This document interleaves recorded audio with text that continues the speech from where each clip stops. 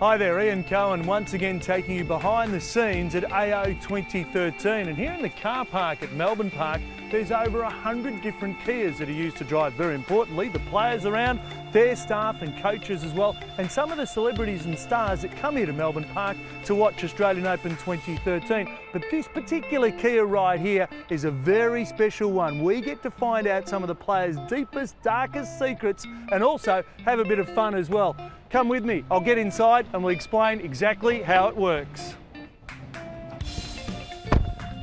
Okay, so this is where it all happens. This is where the player comes and sits in this seat and this is where we find out the moment of truth because on this iPad are all these questions that are hidden away as part of Open Drive. There's four cameras around this Kia. The most important one is probably that one up there, which then gets a direct shot. You can see it through there. There's the vision. Hi, so that one's up there. We've also got one right back here. Now this one here, which you can see, that will actually show what is on that board. Sing us a few lines of your favourite song. Total Eclipse of the Heart from Bonnie Tyler, maybe. Maybe The Gambler, that should be up here. We can actually go for a drive. Let's see this thing on the road because it travels pretty well.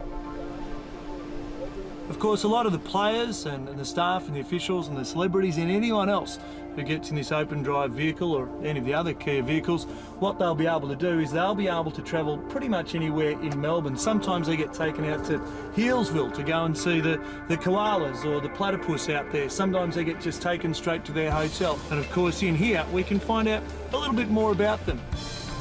Last year it was a huge success. Let's have a look at some of the people last year who managed to get inside this car and maybe just divulge an extra secret or two that maybe none of us ever knew.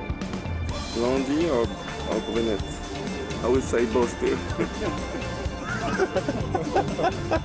How did you come by your nickname? People call me Skunk.